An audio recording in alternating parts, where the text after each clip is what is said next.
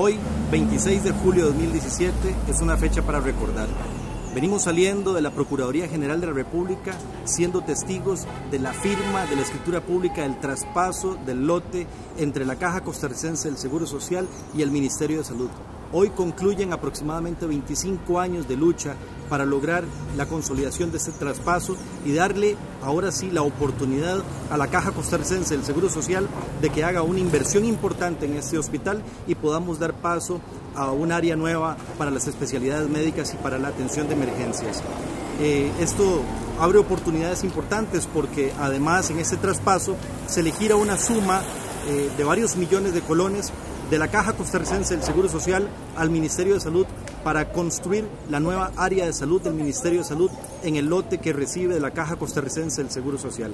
Pero también es cierto que la Caja Costarricense del Seguro Social ya tiene en su portafolio de proyectos la inversión que se va a hacer en este nuevo terreno. Y ahora sí vamos a dar paso a esta nueva oportunidad que va a traer un beneficio enorme para todos los griegos y griegas, pero también para muchísimos otros ciudadanos de los cantones circunvecinos. Así que estoy muy contento por este esfuerzo que hemos venido realizando a lo largo de muchísimos meses desde mi despacho, pero también debo agradecer la coordinación y el apoyo de grupos organizados de la sociedad civil y de los trabajadores que se suman a la voluntad de las autoridades de la Caja Costarricense del Seguro Social y del Ministerio de Salud para este gran logro.